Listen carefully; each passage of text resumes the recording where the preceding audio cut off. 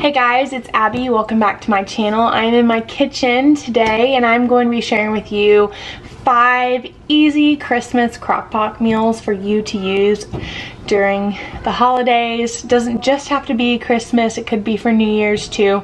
These are just gonna be some appetizers, a few desserts, snacks, and some overnight breakfast recipes you can use in your crock pot so you can wake up on Christmas morning and they are done for you.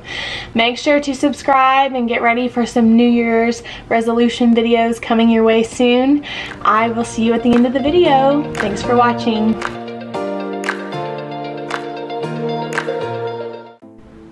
Guys, for this first recipe we're making Christmas crack. All you need is three bags of white chocolate chips. I like to put a liner in the crock pot because chocolate is a mess to clean, but I'm basically just gonna let this sit for an hour, making sure to stir it every 15 minutes so that it doesn't burn. You can add in pretzels. I'm just gonna throw in a couple of handfuls. I will put all the measurements down below. I'm gonna add in about a cup of peanuts.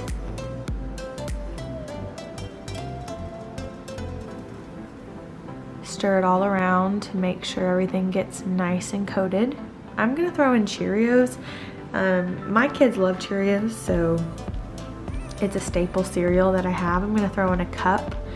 I'm also gonna throw in a cup, actually, I'm gonna throw in two cups of rice squares and then two cups of corn squares. This is the best part for me when it comes to eating anything trail mix. I love the Chex Mix part. Again, stir it all around to get everything coated with the white chocolate.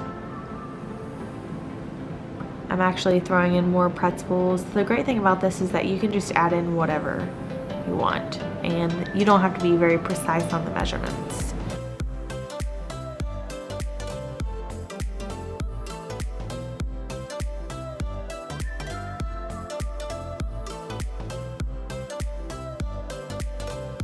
Okay, this is what it looks like so far. I've mixed in everything and the chocolate. Okay, so I'm gonna take the bag out, let it cool on a pan, and once it's cooled, I'll mix in a little bit of the M&Ms. I don't wanna mix in the M&Ms when it's really hot, because then they're just gonna start melting. what? Hi, you want me to hold you?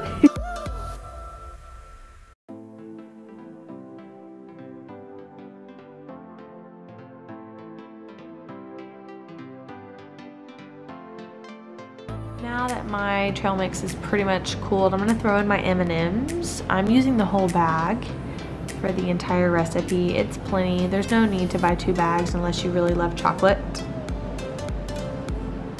give it a good stir again. Try to make sure it really is cooled. I probably should have waited another five minutes or so. A little bit of mine started melting, but it's all good. It still tastes wonderful. But now I'm gonna cover it in powdered sugar. Again, add as much as you want. If you want it really coated, go for two cups. If you just want a little bit, go for one cup but I like to put it in a big Tupperware and just shake it. You can also do this in a Ziploc bag. All right, and it's done. Some of my chocolate chips started melting, but it's okay. Poured it back out. I'm gonna let it dry on a pan for a while.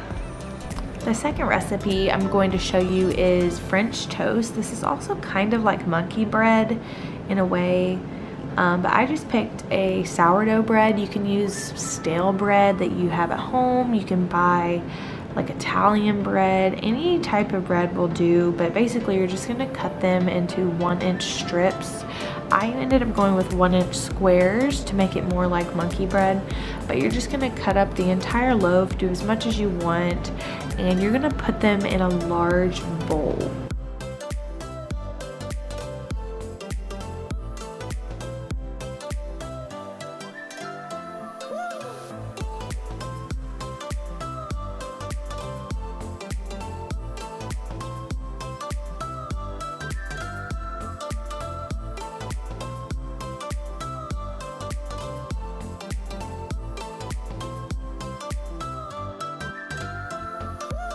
Now you are going to take six eggs and put them into a bowl.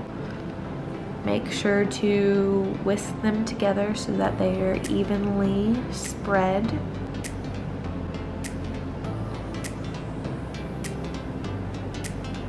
I'm gonna add in a half a teaspoon of cinnamon. If you want to add more, that is fine. And now I'm gonna add in two cups of milk. Whisk it all together. Make sure to get the cinnamon rubbed in or mixed in. Now, what you are going to do is pour this all over your bread mixture. You can stir it around if you'd like, but you actually need to let this soak overnight or place in the fridge for about four hours.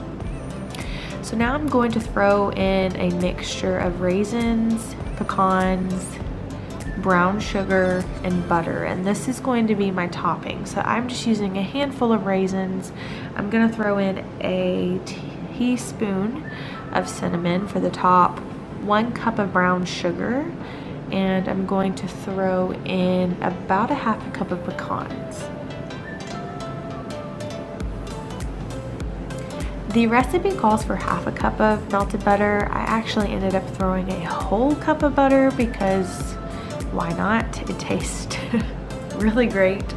Um, but you're actually gonna end up pouring this on top of the bread once it has had time to soak in the fridge overnight or for four hours minimum. Make sure to spray your pan, um, the pot very well so that it doesn't stick. But you can see that the bread has absorbed pretty much all of the egg mixture and you are going to cook this on low overnight, 8 to 10 hours.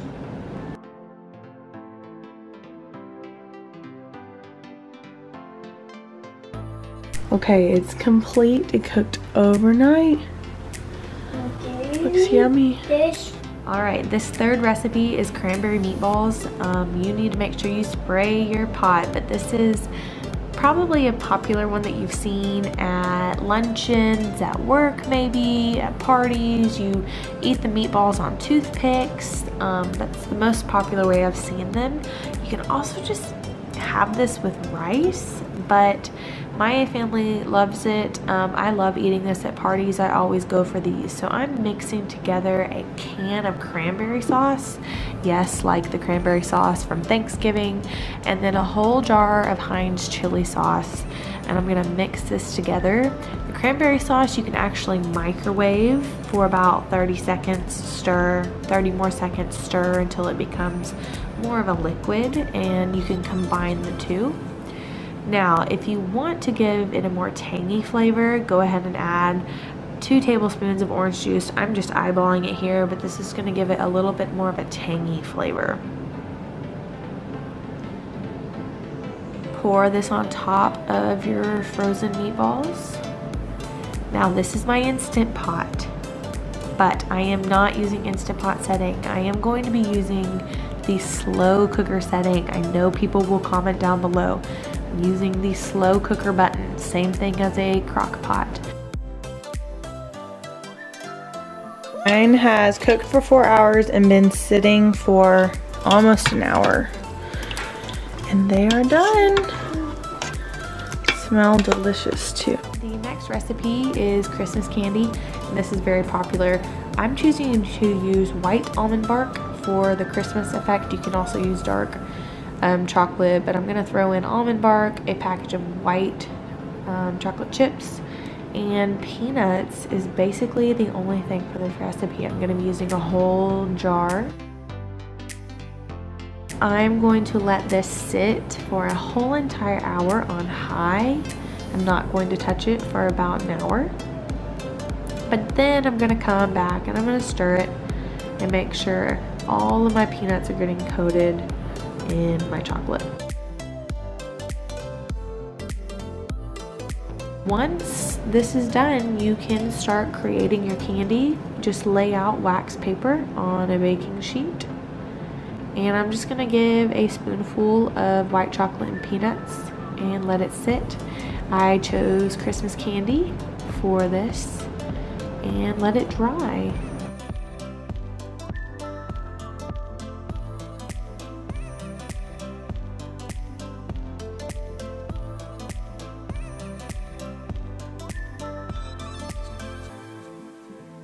Last recipe is my favorite. This is breakfast casserole. I'm gonna spray my pot very well and I'm gonna start by layering hash browns on the bottom. And then right before this, I cooked some pan sausage, like breakfast sausage. I'm just gonna throw in a layer of that. And I'm gonna top it with some cheddar cheese. This would be a great time to chop up some onion bell peppers like I did and layer that in here. I, however, forgot, so I just lay them on the top. But throw in peppers here if you want, but that is one layer and you're just gonna repeat this layer one to two more times depending on how much you have. So I'm gonna repeat hash browns, meat, cheese. If you don't wanna use sausage, you could use bacon here um, instead.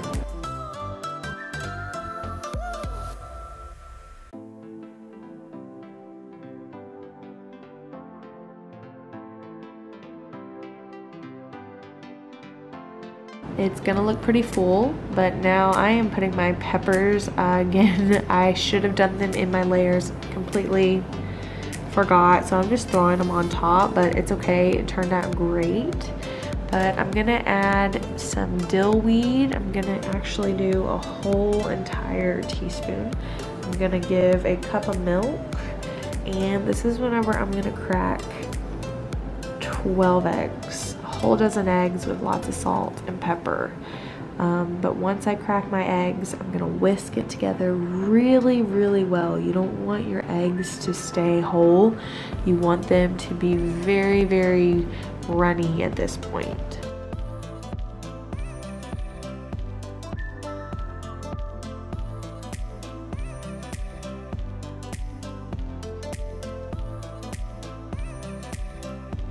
Now pour it all over what you have in your pot.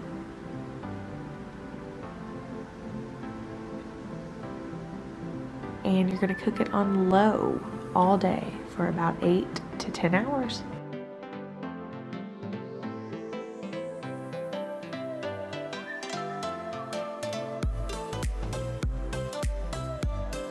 All right, it's been cooking all day. All right. Oh yeah. Oh yeah, boys. That looks good. I'm just gonna mess it up a little. Cause it sits, hey! All right, I'm just messing up the top layer because it sits all day and it starts to look not great, but it's gonna be good.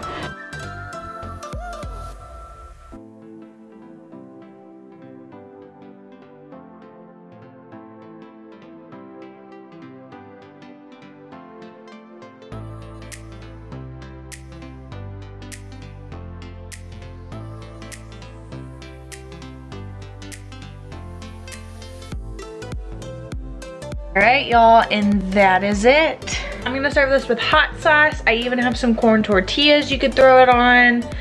Um, but Um, on Christmas morning. It's just really good by itself with some orange juice. Thank you all so much for watching this video. I really hope you enjoyed. Thanks for sticking around. I hope that you have a wonderful Christmas, New Year's, holidays, whatever you celebrate. I hope that you have a wonderful end of 2019. Let's start off 2020 on the right foot. I'm gonna be starting a new January series. Not sure what to call it yet. Not sure what to call it yet, so if you have any ideas, let me know. It's gonna be about saving money, time, everything that I do.